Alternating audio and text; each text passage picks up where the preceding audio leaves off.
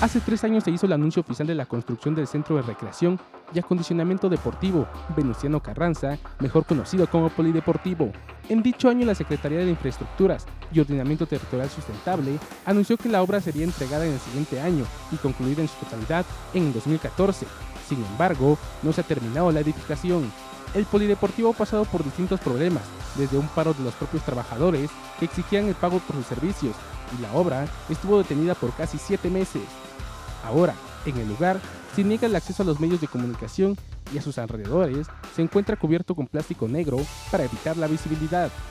La obra inició con una inversión de 80 millones de pesos y en meses anteriores, cuando titular de la CONADE visitó Oaxaca, el gobernador pidió un apoyo para culminar el centro deportivo. Ahora ya se trabaja en las obras, con un visible avance en sus trabajos que comprende un edificio de dos plantas, donde estará la cancha de squash, dos canchas de básquetbol, una alberca semiolímpica, área acuática de rehabilitación para personas de la tercera edad, vestidores, sanitarios, estacionamiento, entre otras áreas que podrán disfrutar los deportistas organizados y la población abierta. Para MDM Deportes, Jair Toledo.